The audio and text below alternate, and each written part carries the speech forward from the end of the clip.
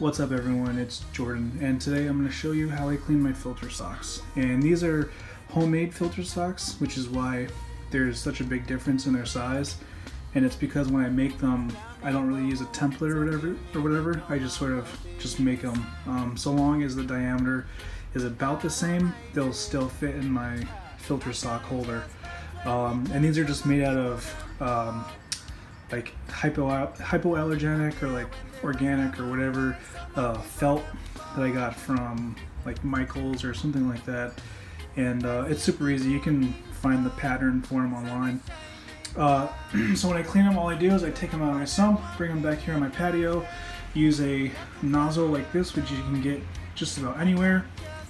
Uh, I found that the best setting is, I want to say flat. with zero.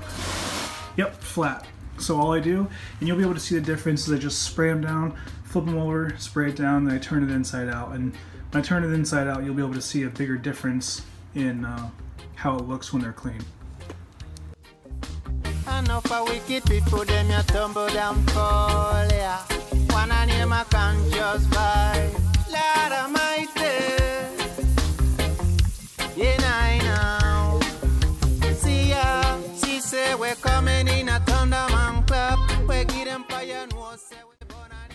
And then after that's done, I wring them out and I bring them in here to dry in my bathroom for about a day or so.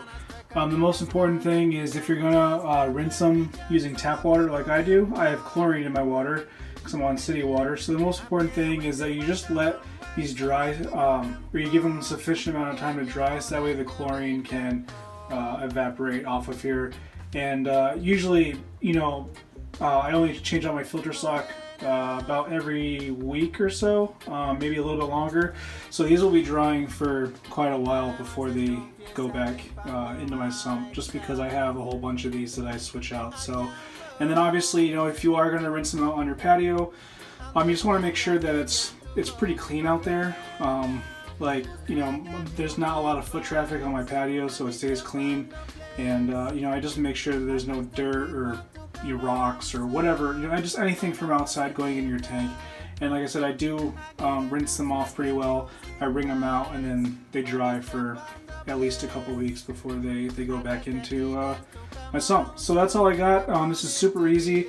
Uh, like I said, if you go to Google and you search DIY filter sock, a uh, thread will come up on Reef2Reef showing how to make these. They're pretty much like a uh, like a Christmas stocking, just not cut into like a, you know, the, the J shape.